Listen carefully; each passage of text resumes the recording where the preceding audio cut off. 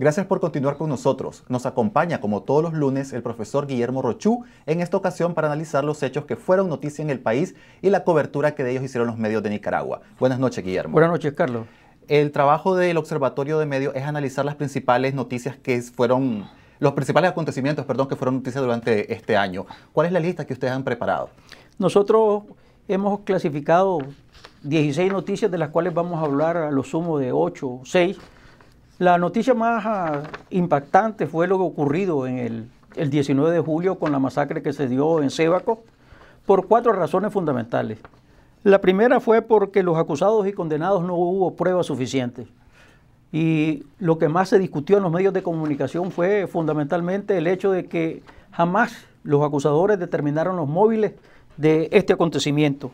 Luego, las irregularidades que se dieron durante el proceso. Recordemos que de acuerdo a la presentación de la acusación, fue, se inició en Tipitapa, dijeron que debía radicarse ahí, después la presidenta de la Corte Suprema de Justicia trasladó el caso y dijo que debía venir a Managua por facilitar el trabajo de los medios de comunicación y en última instancia por el secretismo con que se vino manejando.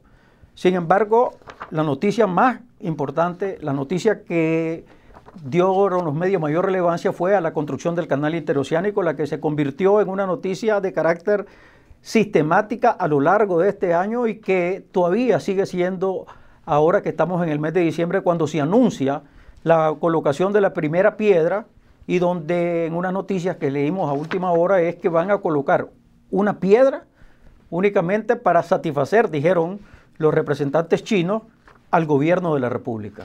Es una noticia que se esperaba con mucha expectativa por parte de la población, porque el gobierno había anunciado que se iba a hacer una gran presentación en la que se abría la posibilidad de saber cómo se construirá este, este megaproyecto. Hace unos meses se hizo una presentación en Managua en la que se esperaba también que se presentaran los estudios de impacto ambiental, los estudios de, de, factibilidad económica del Gran Canal y no se conocieron. Dijeron que hasta abril del próximo año se conocerá el resultado de los estudios de impacto ambiental. Los medios de comunicación le han dado mucha, mucha importancia al tema ambiental. Confidencial, la revista Confidencial ha hecho grandes investigaciones respecto a los daños que podría tener el lago y también otros medios como la prensa. Eh, ¿Cuál este es, un trabajo destacado de parte de ustedes como el observatorio, el interés que ha tenido los medios hacia el impacto que podía tener el canal en el medio ambiente. Sí, desde luego, sobre todo porque, una vez más, el impacto que tuvo en los distintos medios de comunicación provocó una radicalización de los medios y una polarización de la ciudadanía. Ya ves que en última instancia las 15 marchas que se dieron a lo largo del país y creemos que nosotros, si tenemos que nombrar a un personaje del año, son los campesinos que marcharon el 10 de diciembre de este año hacia Naciones Unidas para protestar por la construcción del canal, sobre todo por los inconvenientes, las trabas, los obstáculos que le pusieron tanto a los que venían desde el Caribe Sur como de Rivas y de parte de, Nueva Guinea y de Chontales. Entonces, eh, lo del canal creemos nosotros que sigue, va a seguir siendo la noticia dominante. Vos hablabas de que no se han dado a conocer los estudios de impacto ambiental, los de factibilidad económica, etcétera. Confidencial hizo un largo trabajo demostrando una serie de incoherencias que tenía la construcción del canal, pero lo que al gobierno le provoca un enorme desmentido es, que los propios chinos digan que no van, a no van a comenzar la construcción del canal como se anunció para el 22 de diciembre como un regalo para Nicaragua, sino que lo que van a instalar es una piedra y que ellos, de manera responsable, dice, van a dar a conocer los estudios del impacto ambiental hasta el mes de abril. En otras palabras, yo creo que aquí hay una disonancia entre la posición gubernamental y la posición de HKND, porque si vos recordás, el gobierno ha venido insistiendo, el mismo Wang Jin dijo que iban a comenzar en diciembre, pero ahora vos te encontrás que es una licitación que se declaró desierta, se contrata a, la, firma que es la que cotizó a, menor costo y no es la, gran carretera que se iba a construir, sino una trocha que haga factible eh, el movimiento de los trabajadores y de quienes se van a encargar de la construcción del canal. Pero también hubo otros elementos, ¿no? Eh, las protestas que hubo de parte de los dueños, la forma como se llevó el censo, la participación del ejército y de la policía en la protección que se dio a los chinos y sobre todo quienes, todos los municipios que están alrededor del lago de Nicaragua, que están protestando porque esto lo que va a meterlo es un problema grave para el abastecimiento del agua potable. igualmente el impacto que tuvo con la, con la corrida que, de, el profesor Salvador Montenegro del UNAM, de la dirección del CIRA, porque por el simple hecho de haber planteado una posición donde él decía, miren, lo del canal debemos discutirlo. Y también queda pendiente la gran pregunta que ha sido planteada por los medios de comunicación, de dónde saldrían los 50 mil millones de dólares para financiar un proyecto de esta magnitud. Hasta ahora no se conoce ni siquiera quiénes son los inversionistas dispuestos a invertir en, la, en, el canal. Esa es la gran incógnita del año. Es decir, todavía no sabemos cuáles van a ser. Se habló de que estaban interesados los japoneses, se habló de que estaban interesados los holandeses. Rusos. Se estaban los rusos igualmente, ¿verdad? Entonces, eh, yo siempre he sostenido que detrás, y como se habló aquí en una información que apareció en Confidencial, detrás de este proyecto yo creo que está metido el, gobierno chino. Sí, Confidencial reportó este trabajo, ¿no? La telaraña de Wanjin, en la que se hace una relación entre la empresa Qingwei y el ejército y el ejército popular de China. ¿Cuál es el gran tema pendiente de los medios de comunicación relacionados a, esta concesión y al canal? Yo creo que el, tema pendiente, a mi juicio, tiene que ser ir más de frente. Es decir, y no hacer concesiones.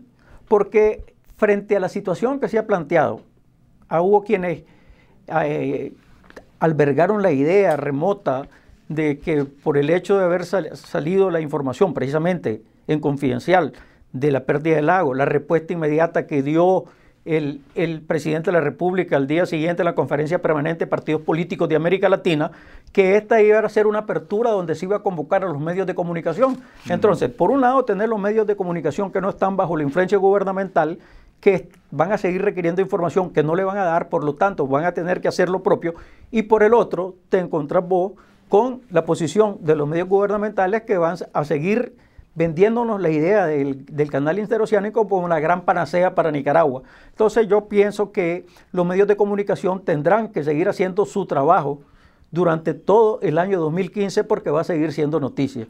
No sé qué va a ocurrir entre el mes de enero y el mes de abril.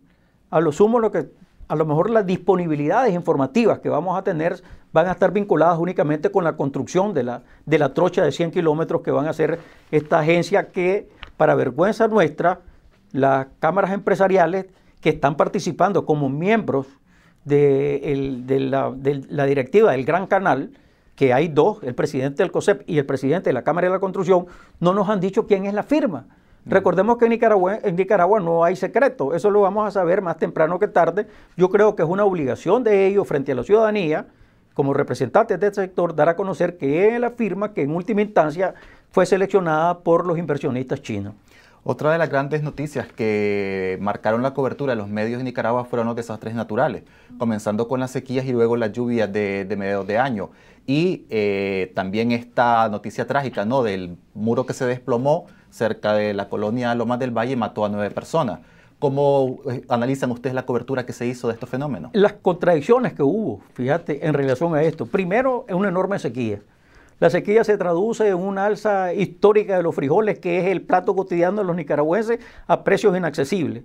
Después te encontrás que hubo durante todo el mes de abril una serie de fenómenos, ¿verdad?, telúricos. Aquí eh, lo que al, al, observatorio propiamente lo que llamó la atención es que la vocería no la llevara, ¿verdad?, INITER, que son los especialistas, sino que fuese la vocera la puesta Rosario Murillo la que estuviera al frente dando las informaciones. Pero después te encontrás con eh, la otra enorme contradicción es que las lluvias que se dieron ya a partir del mes de agosto, septiembre, que provocaron la tragedia del barrio 18 de mayo, donde igualmente hasta la fecha, si no ha sido por el recordatorio que hace Confidencial, los otros medios ya abandonaron la información y no ha habido una respuesta ni de parte de la alcaldía, ni de parte de la Cámara de Construcción, ni de parte de la compañía constructora. Ahí yo creo que también vale la pena mencionar los albergues que se abrieron, la protesta que hubo la ciudadanía, pero también una respuesta que hubo de parte del gobierno con la construcción de las nuevas viviendas donde fueron trasladados ellos. Y la otra noticia vinculada con esto fue el meteorito que cayó en las inmediaciones de la Fuerza Aérea de Nicaragua, que hasta la fecha está pendiente que nos diga que si fue un meteorito o fue como especuló una serie de gente que se trataba de un, de, un disparo que hubo a esa, a esa zona. una versión oficial que la misma NASA contradijo, ¿no? Porque científicos de la NASA emitieron un comunicado diciendo que no tenían registro de la caída de un meteorito en Nicaragua. Sí, porque hubo algunos que dijeron que había, se había habido un meteorito en el, que, se había registrado en el espacio, vino la NASA y dijo que eso era muy, pero muy distante de Nicaragua y que no, no, había esa estela que cayera rumbo a nuestro país. Y, el otro aspecto que tiene que ver es con eh, el hecho de, la, de, de los caminos y carreteras casas y destruidas. Fíjate que año con año el Ministerio de, de, Transporte e Infraestructura tiene que estar pidiendo partidas extraordinarias para mejorar los caminos. Y este año lo que nos llamó la atención era que, pese a que se habló que fueron más de 50 kilómetros los destruidos, no hubiese una, ninguna solicitud, no sé de dónde va a salir la plata, porque hay también demanda en los medios de comunicación de los productores de café, fundamentalmente en la zona fronteriza, que están requiriendo una reparación inmediata de los caminos para poder sacar la cosecha. Eh, profesor, uno de los temas principales abordados durante el año fue la cobertura del sistema de educación pública del país, principalmente el MINET, que estuvo, eh, que fue escenario ¿no? de varios actos de corrupción denunciados por la prensa nicaragüense y aceptados también por el gobierno. Algo que llama la atención, si al finalizar el año, es que la UNESCO publica un informe en el que dice que Nicaragua está reprobada principalmente en el tema de la educación primaria, de tercero a sexto grado. Sí, sobre todo eh, aluden directamente a la calidad de la educación. Eh, habla que los índices que se registraron en una diversidad de países, incluyendo Guatemala, hubo un crecimiento de un porcentaje de un 2%, mientras que en Nicaragua solo hubo de un 1%. Para ellos dice que tendría que revisarse a fondo el sistema de educación.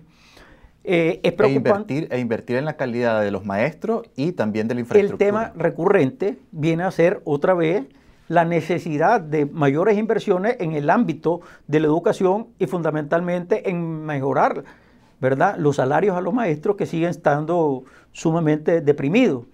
Pero también con el Ministerio de Educación se dieron tres acontecimientos importantes. Uno es el caso de Endeco porque el caso de Endeco le costó el cargo a los dos viceministros que estaban en funciones, pero eh, se nombraron dos nuevos ministros, se habló de un relevo de la viceministra, de, perdón, de la ministra, que el profesor Miguel de Castilla asumía directamente el, Ministerio de Educación, lo que, aquí, lo que hemos visto y lo que ha reflejado la televisión, los periódicos y la radio es que él aparece en una serie de, de actividades del Ministerio de Educación Vimos, sin embargo, que la ministra apareció a su lado haciendo, firmando un préstamo para el Ministerio de Educación, pero podríamos aludir a algo que los, que los periodistas de alguna u otra manera llaman ministro sin cartera.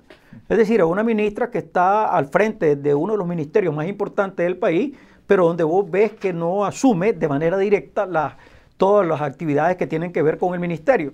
Y, el otro, ministra además que que se mantiene bajo el sistema de silencio y de cerrazón de la información del gobierno, porque desde Confidencial y desde este programa también hemos hecho varias solicitudes directamente a ella para conocer, para entrevistarle y conocer la situación del Ministerio de Educación, pero todas las, las comunicaciones que hemos tenido han sido con respuesta negativa.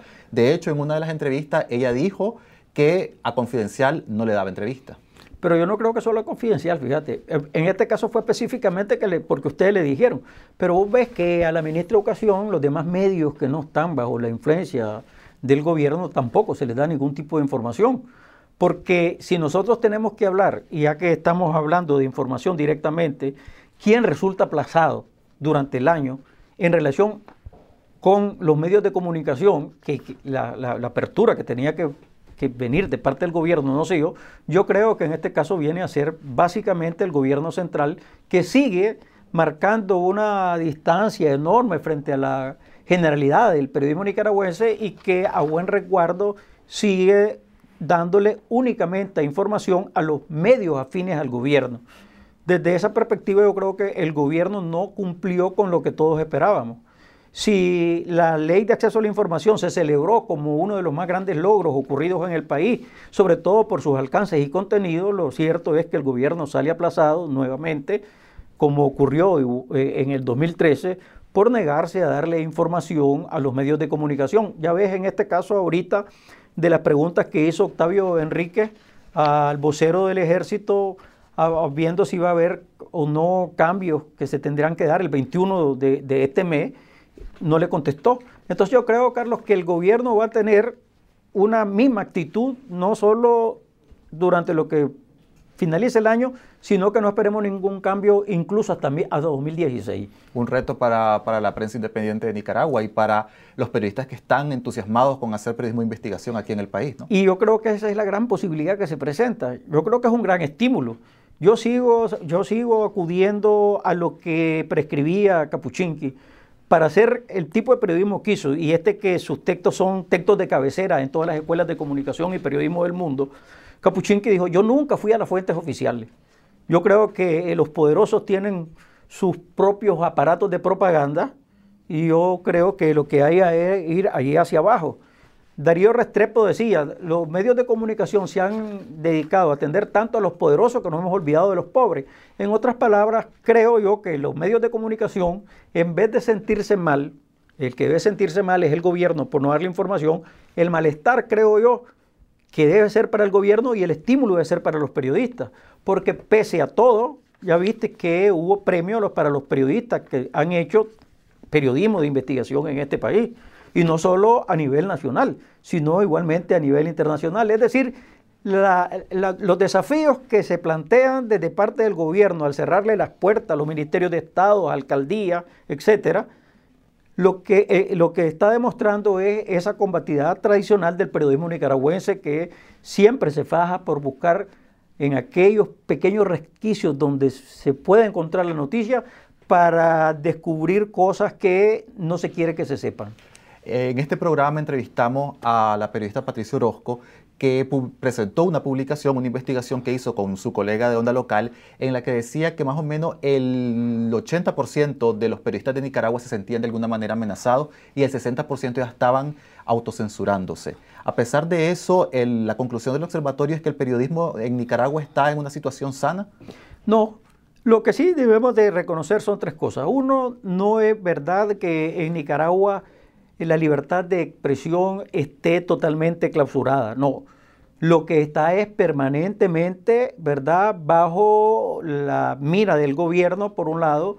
En segundo lugar, recordemos que eh, el gobierno, el expediente al que ha recurrido, y esta es una forma de censura indirecta, eh, así lo tipifica tanto la Relatoría para la libertad de expresión de la Organización de Estados Americanos, para la ONU y para el Consejo de Europa, es que el hecho que las frecuencias radioeléctricas únicamente sean otorgadas a, gente afines al gobierno, uno, dos, que la publicidad gubernamental se, maneje como premio o castigo y que únicamente se le dé entrevistas a quienes los, los personeros de gobierno consideren afines a su información, eso es una forma de, censura.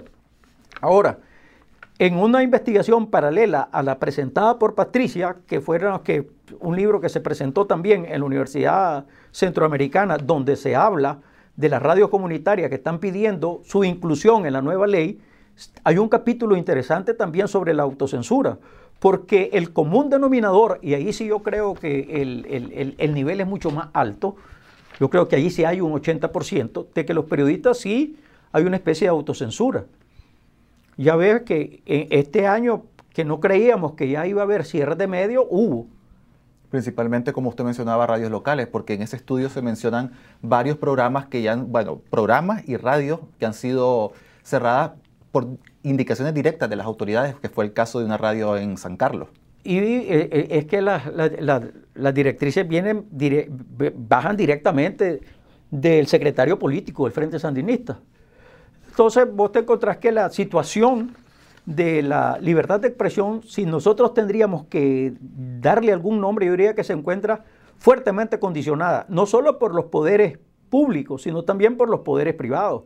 Recordemos que los medios de comunicación, los dueños de medios, los gerentes de radioemisoras han hecho llamado al sector empresarial para que inviertan, porque ellos dicen que invirtiendo en estos medios invierten en democracia, pero eh, incluso hubo un llamado directo este año del nuevo presidente de AmCham, de, de ¿verdad? Donde él demandaba a los medios de comunicación y les pedía que invirtieran en estos medios y vos ves que cero inversiones. Y esta ha sido una conducta histórica de parte de quienes entregan la publicidad. Es decir, no quieren entrar en contradicciones con el gobierno de turno. Bueno, y ya que mencionamos a los empresarios, dos noticias económicas también acapararon la atención de la prensa en este año. El tema de Tumarín, también relacionado al escándalo que hubo en Brasil con los altos ejecutivos de Petrobras, que, bueno, robaron, según la información que viene de, este gran país, varios millones de dólares ¿no? de, la empresa. Y la otra es la aprobación de la reforma a la ley tributaria. Yo creo que la noticia económica del año fue la aprobación de la ley de concertación tributaria ese sí fue el regalo navideño que nos dio el gobierno a todos los nicaragüenses. Ahora, al cierre de año, cuando se discutió en la Asamblea Nacional la ley, eh, hubo de parte de diputados de la bancada oficialista que sostuvieron que las ONG finalmente no van a ser este, eh, eh, afectadas. Yo le decía en el programa anterior a Carlos que cada vez que nosotros aquí y Viste vos que hubo voces desde el IEP y desde otros organismos haciendo públicas todas estas restricciones y el, regalo al niño Dios que obtuvo el gran sector empresarial, sobre todo con los yates exonerados de impuestos, con los helicópteros exonerados de impuestos, ese es el verdadero regalo navideño para ellos. Siempre al final, si vos te encontrás en el comportamiento que dio con estas sucesivas reformas, es que eh, ante las críticas desmesuradas y ante el, cuestionamiento abierto de la ciudadanía y de los medios de comunicación, lo que hacen es dos pasos para atrás. Y esto yo creo que fue que evitó que precisamente no fuesen afectados los ONG, pero no así eh, eh, todo el pequeño sector empresarial. Lo que se dijo es que les iban a dejar libres las materias primas, pero que el producto final iba a ser grabado. En otras palabras, hay una preocupación real de parte de los microempresarios que creían a lo sumo que en estas discusiones que se iban a dar en la Asamblea Nacional iba a haber una apertura hacia ellos. Y en relación a Petrobras, si vos ves, parte de los accionistas están reclamándole a los directivos, diciéndole que en un año de pérdida y en un año que se lo están jugando, ellos consideraban inadecuado que hayan dispuesto a invertir para Nicaragua inicialmente ya 100 millones de dólares. Pero si nosotros vemos cuánto era la inversión real que tiene que hacer Timarín, Tumarín, que se habla de, 2000, de 1.200 millones a 1.300 millones por, por, eh, la otra parte de la otra presa que se tiene que construir, eh, es una ínfima parte. Ahora, los brasileños tendrán que arreglarlo. Ya hubo orden de captura, ya están jugando a varios de los, de los implicados de Petrobras en este asunto. Vamos a ver qué va a ocurrir el año que viene porque ellos dieron como fecha de inicio, después que le arrancaron al gobierno nuevas concesiones, que el inicio de operaciones iba a ser en enero del año que viene. Bueno, vamos a ver qué ocurre con este tema de, además prioritario para la economía de Nicaragua. Estamos hablando de una gran inversión de varios cientos de millones de dólares que generaría muchos empleos también. Y que lo necesitamos. El cambio de matriz eh, eh, eh, va a estar a tono con lo que está aprobando Naciones Unidas el año que viene, de que las cuentas del reto del, del, milenio se van a, van a pasar ahora al desarrollo sostenible y uno de los 16 objetivos que se plantean es energía limpia. Nicaragua ha venido cambiando su matriz, ¿verdad?, para la producción de energía, lo cual habla bien del desempeño del gobierno en, esta materia. Esas fueron algunas de las principales noticias que nos deja este año. Un año marcado por la cobertura del proyecto canalero que impulsa el comandante Ortega con el empresario chino Wang Jing a quien los diputados del Frente Sandinista entregaron una jugosa concesión sin consultar a la población. Se trata de una concesión que además agrede la soberanía de Nicaragua. El proyecto está lleno de interrogantes y se maneja con secretismo, y aunque todavía no se conocen los inversionistas dispuestos a poner su dinero para financiar una obra valorada en 50 mil millones de dólares, ni los estudios de impacto ambiental y factibilidad económica, el gobierno de Ortega y la empresa HKND anunciaron que este 22 de diciembre iniciarán la obra de construcción del canal y que, según informó el diario Confidencial, será únicamente una operación de relaciones públicas orquestada por el gobierno y HKND.